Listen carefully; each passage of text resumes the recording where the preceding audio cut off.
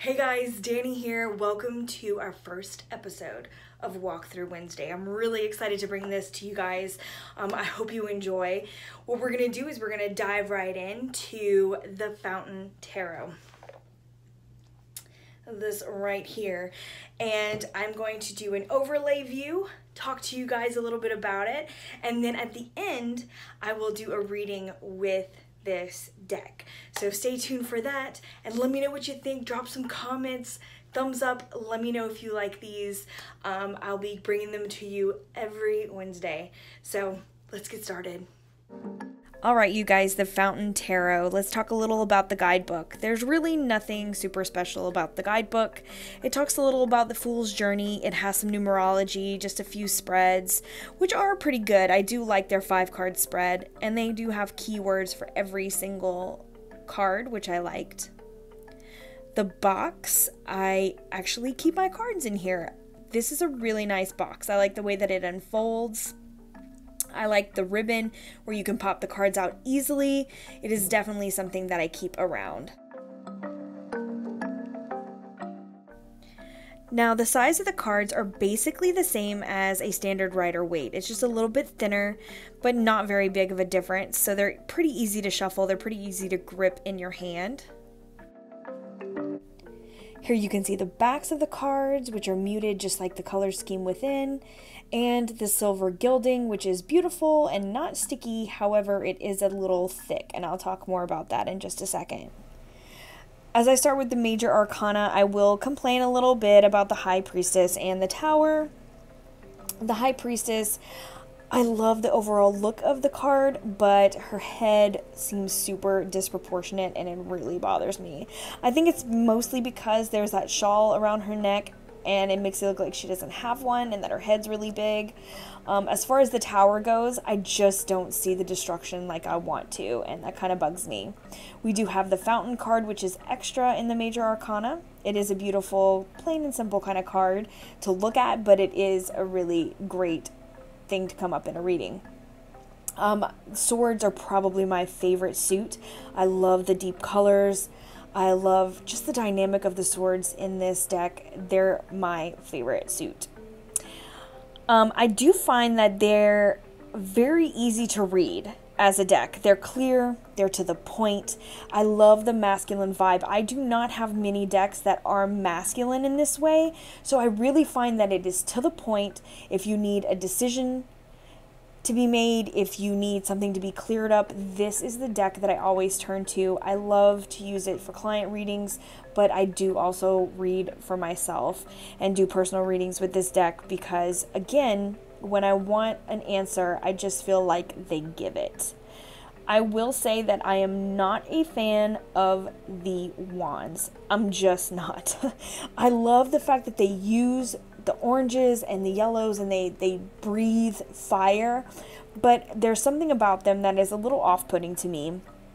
I don't know if it's because I don't like the way that the wands are portrayed or if it's just an aesthetic thing, but there you have it. That is the full deck. Now for the shuffling. Let's talk about this gilding, like I mentioned before. While it is not sticky, the gilding on the sides is thicker than the card itself, if that makes any sense. It's really hard to show, so I really can't show it in the video. Um, but that's basically the best way to describe it is that the edges are thicker than the cards themselves. So sometimes it makes them kind of clump together, even though they're not sticky. Um, but they do overhand shuffle really well. You can bridge them if you do a riffle or rifle shuffle. Um, overall, though, I could do with the gilding not being so thick. Now for my favorite cards of the deck. I break these down into my favorite major arcana, my favorite court card, and my favorite minor. So my favorite major arcana is going to be the death card because it seems so familiar to me. The second I saw it, it reminded me of the Thestrals from Harry Potter.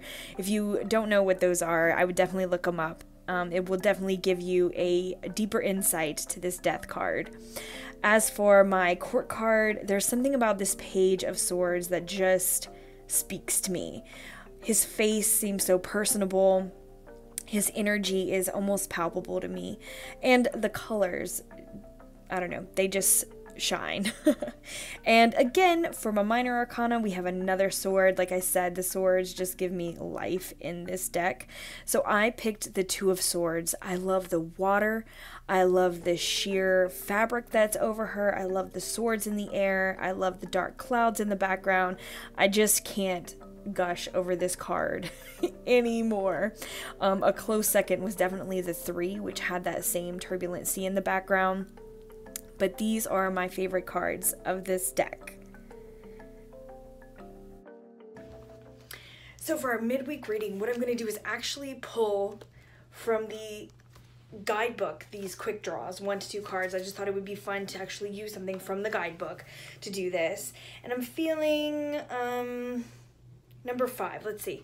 Uh, where am I getting in my own way? So let's look. I'm about to get close. Hello.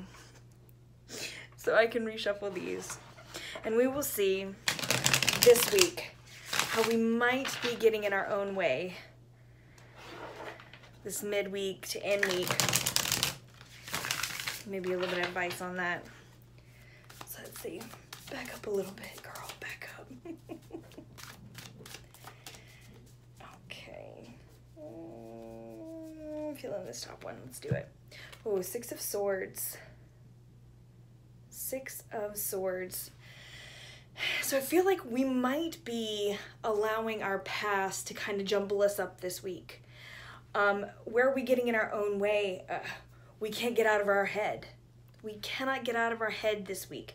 And I'm feeling like if we start to let go of the reins, at least just a little bit, like when you find yourself getting stuck and staring off into space for like 20 minutes and you're like, oh, where was I? where am I going? That's when we got to reel ourselves back in. Maybe push ourselves forward. Go a little bit towards the present. Just try to pull yourself out when you see yourself going in. Don't allow you to yourself to go on loop. Don't allow yourself to continue to bring up this past and kind of work things out that you can't change. Um, let's just keep moving forward this week and we will conquer what we need to conquer. We will accomplish what we need to accomplish, but we can't stay stuck in our heads. So I hope you guys have a great rest of your week. I hope that things go wonderfully. And if you're looking for me, I have a bunch of links below where you can find me on Instagram, Facebook, I'm on Patreon, all kinds of links below. You can book a reading with me, um, or if you have any questions, feel free to let me know, drop me some comments, and it's lovely to see you guys.